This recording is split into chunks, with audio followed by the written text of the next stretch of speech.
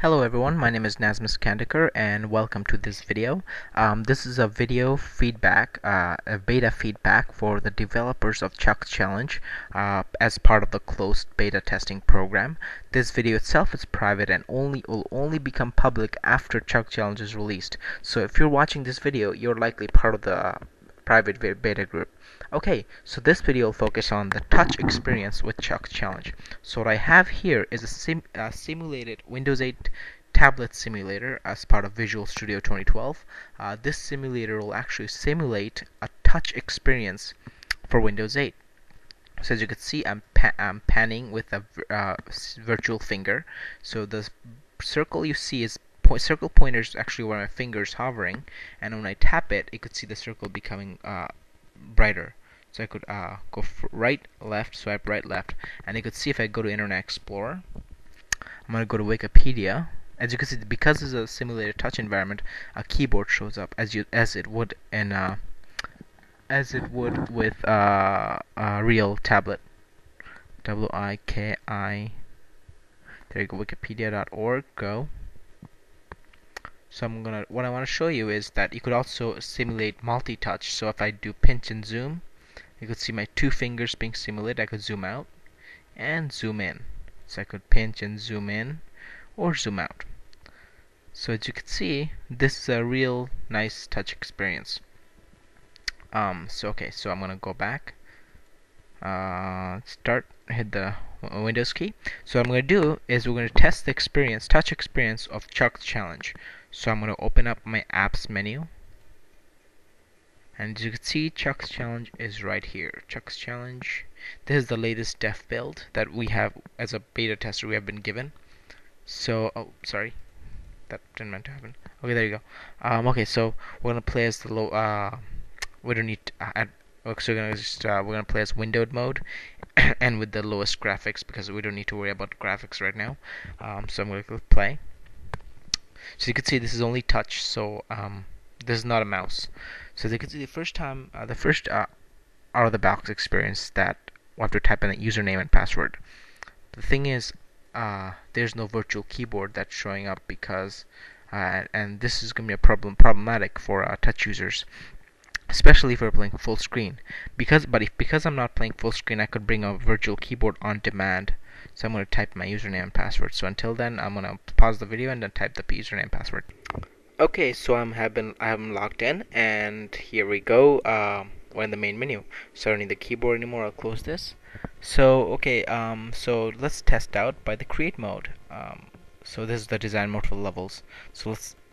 Here's uh, the, another bug I found that when you tap create, nothing happens. If I tap play, nothing happens what I actually have to do is double tap. I don't know why that is, but uh, it just doesn't work. Uh, if I use a mouse, as you can see, I can do single tap. So I want to click settings. Single tap works. Single click works. Say back, single click works. But if I go back to a finger, I have to double tap. I have to double tap. If I tap once, it just glows. If I tap again, it works. So it if I tap once, it glows. So I have to tap tap twice. I don't know why that is, um, but something is not right. That's a bug. Okay, so we're in the create mode, or we're loading the create mode. A few things to notice here is that I can't pan, so I can't pan around. Um, also, uh, these buttons right here are way too small. Also, I have to double tap these. Otherwise, they won't work. If I single tap, it glows. after tap twice double tap, double tap, double tap, oh, double tap. Also see, uh, the finger's missing it because it's just too small. And in a real tablet, this is going to be way too small. Even these buttons are way too small for touch.